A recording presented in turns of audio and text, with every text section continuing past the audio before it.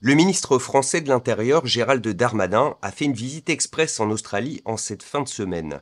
Il s'est d'abord rendu à Melbourne, où il a rencontré plusieurs membres du gouvernement Albanese, notamment son homologue aux affaires intérieures, Claire O'Neill, ainsi que le ministre de la Justice, Marc Dreyfus.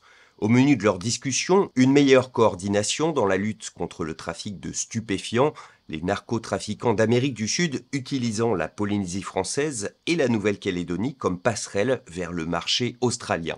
Mais aussi des échanges autour de deux défis communs, la cybercriminalité et les enjeux de sécurité posés par le réchauffement climatique, notamment les cyclones et les feux de forêt. Le lendemain, samedi, il était à Sydney où, en présence du nouvel ambassadeur de France en Australie, Pierre-André Imbert, il a rencontré certains membres de la communauté française à la résidence du consul général de France à Sydney. Une visite rapide durant laquelle il n'a pas accordé d'interview aux journalistes, il devait ensuite rencontrer des représentants de la police de Nouvelle-Galles du Sud et notamment de la brigade maritime pour que ces derniers lui fassent part de leur expérience quant à la sécurisation des Jeux olympiques de Sydney en 2000.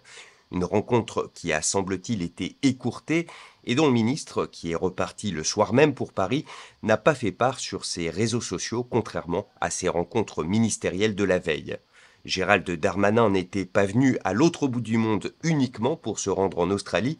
Juste avant, il était en Nouvelle-Calédonie pour discuter du dégel du corps électoral, actuellement restreint aux natifs et aux résidents présents en Nouvelle-Calédonie depuis au moins 1998.